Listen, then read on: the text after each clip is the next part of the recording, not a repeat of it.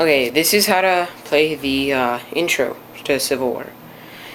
You're going to start off with an E minor chord, and all you're going to do is strum the low E on clean, by the way.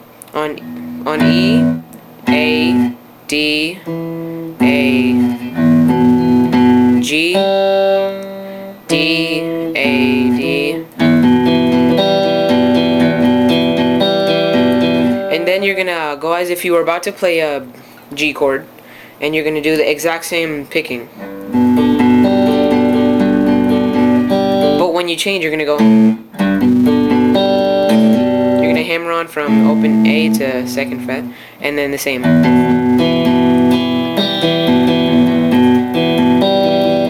And then it's the same um, from the G string, the G chord. But then you're gonna move down to this.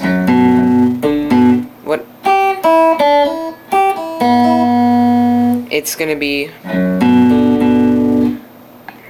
same picking, but then um, you're gonna go up to the third fret on the E, open B, and then open E.